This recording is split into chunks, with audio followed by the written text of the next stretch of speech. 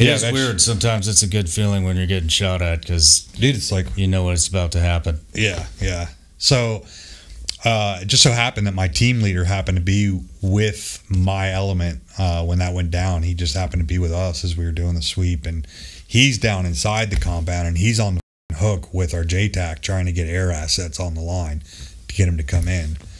And uh, he's like, dude, you need to come down. You need to come down. So I come down off the roof, and uh, we had three murder holes, you know, dug out out of uh, different different sides of this compound, one on each side. And uh, so he's like, "Hey, if you want, you know, go in there with so and so, and you know, just just man the murder hole, just you know, see what's going on." So for a while, there there was a lull in fire. You know, it wasn't really going on. It got quiet. It went from just like eh, it was going off everywhere to just stopped.